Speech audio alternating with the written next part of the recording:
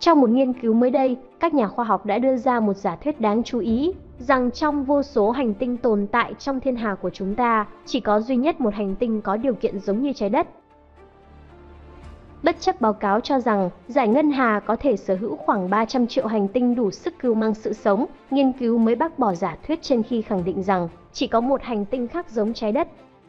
các nhà thiên văn học đã hoàn thành việc phân tích những hành tinh ngoài hệ mặt trời được tìm thấy lâu nay thông qua dự án của kính viễn vọng Kepler, cho rằng quá trình quang hợp là rất quan trọng trong việc tạo ra các hệ sinh học phức tạp thuộc loại được tìm thấy trên trái đất. Vì vậy, để một ngoại hành tinh có thể sinh sống được, nó sẽ cần phải phát triển một bầu khí quyển dựa trên oxy. Quang hợp không chỉ cung cấp năng lượng cho thực vật mà còn đóng vai trò then chốt trong việc tạo ra và duy trì một môi trường sống bền vững. Nếu không có quá trình này, khả năng phát triển các hệ sinh học phức tạp như trên trái đất sẽ rất thấp. Tuy nhiên, quá trình quang hợp cần nước lỏng. Chỉ những ngoại hành tinh có nhiệt độ thích hợp, không quá nóng hoặc không quá lạnh mới có thể lưu trữ một thứ như vậy trên bề mặt của chúng. Vậy có bao nhiêu ngoại hành tinh đất đá có kích thước bằng trái đất ở trong cái gọi là vùng sự sống Goldilocks? Nghiên cứu mới đây cho thấy là không nhiều. Trên thực tế, ngay cả trong số ít các ngoại hành tinh đá có khả năng sinh sống đã biết, không có hành tinh nào có đủ điều kiện lý thuyết để duy trì một sinh quyền giống trái đất được cung cấp bởi quá trình quang hợp. Tuy nhiên, không phải là tất cả đều là tin xấu. Theo nghiên cứu, lượng bức xạ mà mỗi ngoại hành tinh hứa hẹn nhận được từ ngôi sao chủ của nó cho thấy có một hành tinh gần như nhận đủ ánh nắng mặt trời để duy trì và phát triển sinh quyền phức tạp như trên trái đất đó chính là ngoại hành tinh Kepler 442b. Để rút ra kết luận trên, các chuyên gia tập trung tìm kiếm dấu hiệu của quang hợp trên nhóm hành tinh mục tiêu. Đây là điều kiện then chốt cho phép một hành tinh phát triển khí quyển chứa dưỡng khí. Vậy chúng ta biết những gì về Kepler 442b? Là một hành tinh đá có khối lượng gấp đôi trái đất, Kepler 442b xoay xung quanh một sao lùn cam có tên là Kepler 442, thuộc phạm vi tròm sao thiên cầm, cách trái đất khoảng 1.120 năm ánh sáng. Sự tồn tại của nó đã được công bố vào năm 2015 sau khi được phát hiện bởi kính viễn vọng không gian Kepler khi nó di chuyển qua ngôi sao mẹ của nó. Hiện tại, kính thiên văn Kepler đã ngừng hoạt động vào năm 2018 còn được gọi là cao Y 474201, hành tinh trên chỉ cách sao trung tâm khoảng phân nửa so với khoảng cách từ mặt trời đến trái đất. Nó mất 112,3 ngày để hoàn thành vòng quay quanh Kepler 442. Nghiên cứu cũng kết luận những ngôi sao có nhiệt độ bằng phân nửa mặt trời, giống như sao lùn đỏ, không đủ sức duy trì sinh quyền như trên trái đất vì chúng không cung cấp đủ năng lượng cần thiết với khoảng cách cho phép truyền tải bước sóng ánh sáng thích hợp. Điều đó không có nghĩa là không thể quang hợp, điều này có nghĩa là sẽ không có đủ sự sống thực vật trên hành tinh để duy trì một sinh quyển giống như trái đất. Đó là một đòn giáng mạnh cho việc tìm kiếm sự sống trong thiên hà của chúng ta, vì 70% các ngôi sao trong giải ngân hà là các ngôi sao lùn đỏ, chúng còn được gọi là sao lùn mờ. Nghiên cứu cũng cho thấy, không có ngôi sao nào cung cấp cho các hành tinh của chúng đủ ánh sáng mặt trời để quang hợp đáng kể có thể xảy ra, cũng theo các nhà khoa học, sao lùn cam có thể là những ngôi sao tốt nhất để nghiên cứu và để tìm kiếm sự sống ngoài hành tinh.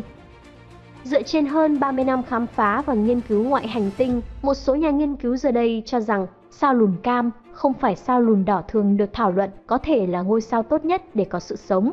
Những ngôi sao này ổn định hơn những ngôi sao lùn đỏ bởi những ngôi sao này có thể cháy hàng tỷ năm và ít có khả năng phát ra bức xạ tia X và tia cực tím có hại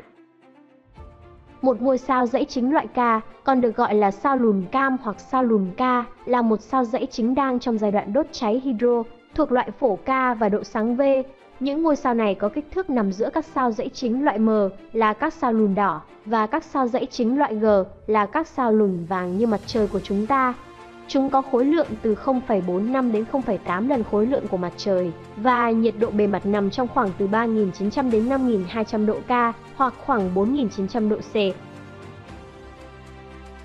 Sao lùm cam còn đại diện cho các mục tiêu tương đối dễ dàng để tìm kiếm ngoại hành tinh. Ánh sáng của những ngôi sao như vậy hơi mờ hơn nếu so với ngôi sao của chúng ta, làm cho các hành tinh dễ dàng nhìn thấy hơn khi chúng đi qua mặt của ngôi sao bởi khối lượng của một ngôi sao lùn cam nhỏ hơn một chút so với khối lượng của một ngôi sao giống như mặt trời của chúng ta. nên tạo ra sự dao động hấp dẫn lớn hơn trong ngôi sao khi nó bị kéo bởi một hành tinh quay quanh. Sao lùn cam cũng sống lâu hơn đáng kể so với mặt trời của chúng ta, cho phép nó có nhiều thời gian hơn để sự sống phức tạp có khả năng phát sinh trên hành tinh của chúng. Mặt trời của chúng ta đã đi được một nửa tuổi thọ ước tính khoảng 10 tỷ năm của nó, và nó dự kiến sẽ phát triển lớn đến mức khiến trái đất không thể ở được chỉ trong một hoặc 2 tỷ năm nữa.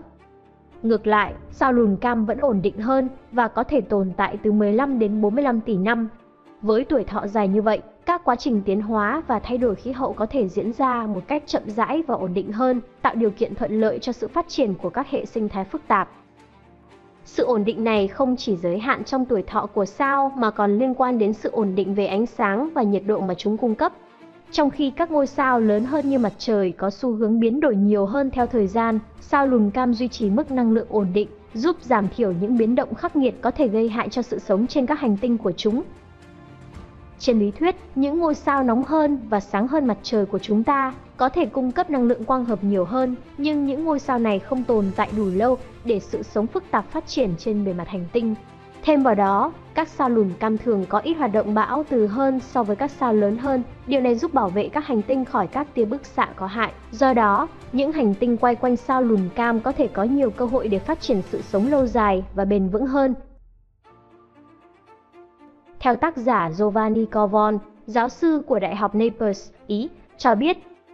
vì sao lùn đỏ cho đến nay là loại sao phổ biến nhất trong thiên hà của chúng ta, nên kết quả này chỉ ra rằng các điều kiện giống như trái đất trên các hành tinh khác có thể ít phổ biến hơn nhiều so với những gì chúng ta hy vọng. Nghiên cứu này đặt ra những hạn chế mạnh mẽ đối với không gian tham số cho sự sống phức tạp. Vì vậy, có vẻ như điểm ngọt ngào để lưu trữ một sinh quyển phong phú giống như trái đất là không quá rộng